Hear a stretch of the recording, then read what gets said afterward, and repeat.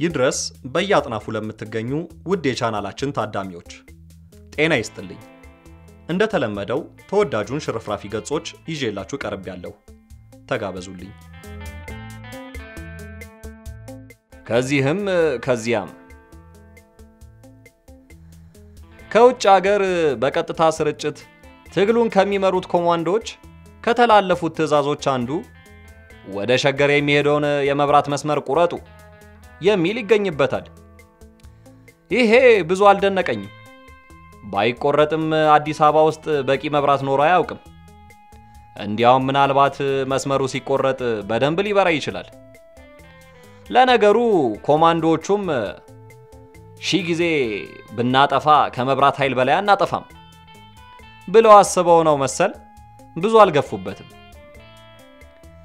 ወደ ሸገር የሚገቡ የውሃ ቧንቧዎችን ቁረጡ የሚለው ትዕዛዝ ግን የጭካኔና የክፋት ጥግ ነበር። የሚገርመው እንኳን የገዛ ወገንን ጠላትን ውሃ መከልከል በባህላችን ሐራም ነው። አባቶቻችን በጦር ሜዳ ላይ ከጠላታቸው ጋር ግንባር ለግንባር ገጥመው ሲታኮሱ የጠላታቸው ከንፈር ደርቆ ካዩት ይችን ፉት በላት ይሉና ኮዳቸውን ይወረውሩለታል። ጠጥቶ መርካቱን ካረጋገጡ በኋላ ነው ይህችን ደግሞ ሙቃት ብለው ቦምባቸውን የሚወረውሩለት።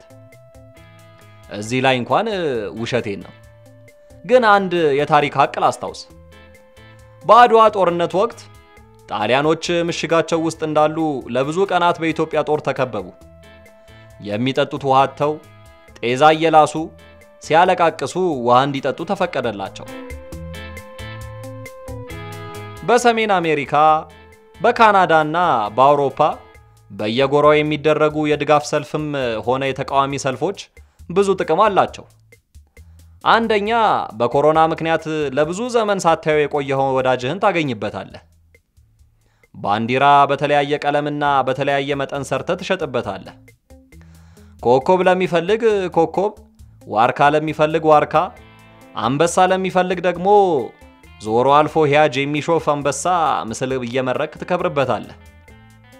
ትንሽ ድምፃዊነት የምትሞካክር ከሆነ ኦዲየንስም ታገኝበታለህ። በለስ ከቀናህ የወደፊቷ ሚስትህን ላፍ ታረግበታለህ። በለስ ካልቀናህ ደግሞ ኮሮናውን ላፍ አድርገህ ወደ ቤት ትመለሳለህ።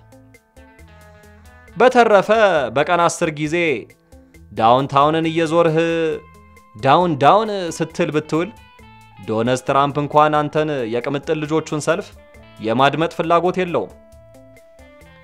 ስራ ላይ ነው። አሁንማ ከፕሬዝዳንትነቱ ጎን ለጎን እንደ ሰራዊት ፍቅሬ ባቄላ ማስተዋወቅ ላይ ተጠምዷል። ይሄንና የመሳሰሉ ትንታኔዎችን ለመስማት የዩቲዩብ ቻናሌን ይጎብኙ ብል ማን ሰምቶኝ?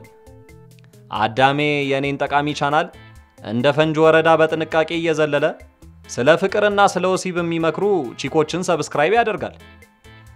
ባለፈው ሻሸመኔ እንደ ጧፍ በምትነድበት ሰዓት ዩቲዩብ ላይ በብዛት የታየው ቪዲዮ ሴቶች ከወሲብ በኋላ ምን ይፈልጋሉ የሚል ርዕስ አለው። ለምን ሌላ ቦታ ከምትሄዱ እኔን አትጠይቁኝም? ሴቶች ከወሲብ በኋላ የሚፈልጉት ሁለተኛ ዙር ነው። አንድ ሴትዮ ደግሞ masturbation የሚያስከትላቸው 14 ችግሮች የሚል ወጥታ ትተነትናለች። masturbation አለች ሴትየዋ። masturbation በአይናችን ላይ ከፍተኛ ችግር ያስከትላል። በየጣልቃው አይንሽን ማሸት ካልተውሽ የት ይቀርልሻል?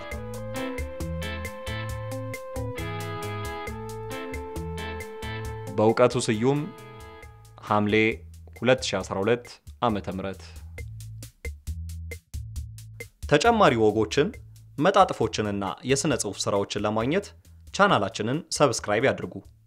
የታደማችሁት ሥራ ከተመቻችሁ እንዲሁ share እና like ማድረጎን አይርሱ። ያላችሁን ሐሳብ አስተያየት በ comment box ላይ ያስፍሩ። ብሩህ ጊዜ በያላችሁበት